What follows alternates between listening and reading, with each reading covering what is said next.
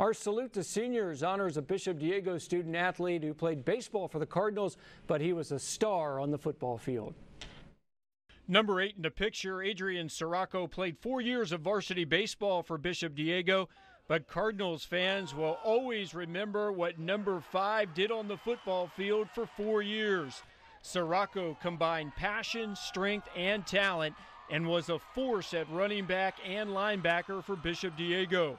He was all CIF in Division 5 two years in a row after rushing for more than 1,000 yards in back to back seasons. Adrian Soracco played a key role on Bishop Diego's historic season in 2017. I would definitely have to say my greatest memory is winning the CIF, regional, and state championship and being the first team in our town to do so. I'm excited to take what I've learned from Bishop on the football field and in the classroom to NAU next year. Go Lumberjacks, baby! Yes, Adrian Soracco signed to play at Northern Arizona.